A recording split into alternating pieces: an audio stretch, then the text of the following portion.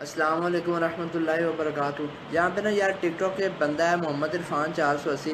اس نے غلاف کعبہ دکھا کے مسلمانوں کے جذبات کے ساتھ کھیلا ہے اور اس سے پیسے بٹورے ہیں۔ پیسوں کی کوئی بات نہیں، غلاف کعبہ کے لیے ہمارے جو پیسے گئے ہیں وہ ہمیں مل جائیں گے، وہ ہمیں اللہ دے گا۔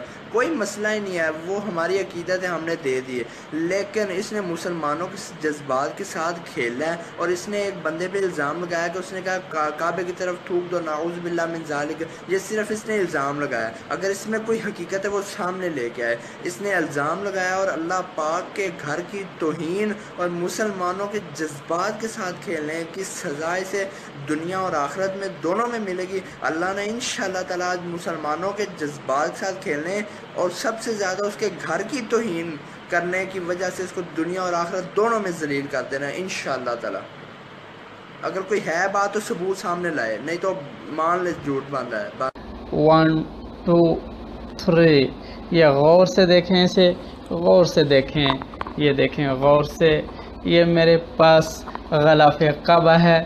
آپ اگر لینا چاہتے ہیں تو آپ کمنٹ میں مجھے بتا دیں۔ جو میں نے کل کہا کہ بھئی غلاف کعبہ کا کپڑا ہے میرے پاس اور وہ جس کو چاہیے وہ میسج کرے۔